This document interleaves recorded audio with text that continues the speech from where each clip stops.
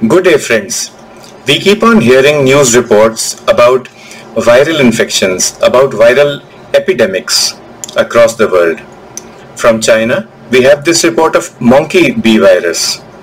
The monkey virus is a herpes virus or a DNA virus which infects a particular species of monkeys. There are many herpes viruses which infect human beings as well and some of them can be quite dangerous. But the monkey virus usually does not get transmitted to humans. Do not worry too much upon hearing this news. However, if you are in close contact with monkeys, do follow basic common sense. Try to avoid getting bitten or scratched.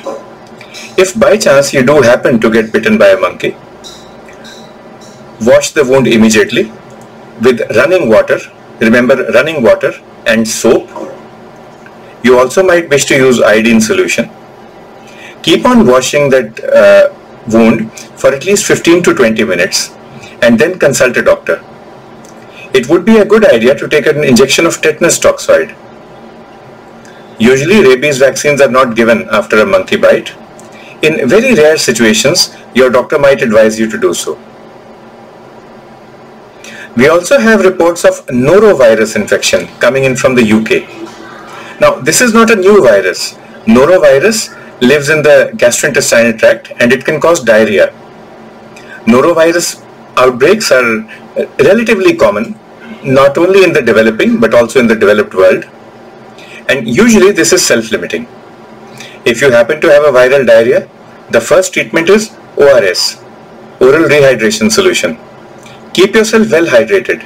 Drink enough fluids, take enough electrolytes. Indian treatments for this, indigenous treatments, would include lemonade, jaljeera and kokum juice. If however you feel dehydrated, you are not well, maybe a child has a thready pulse, is very hot, is not responding to treatment, is not sweating in spite of ambient heat, this would warrant visiting your doctor and asking for help. Stay safe, stay healthy.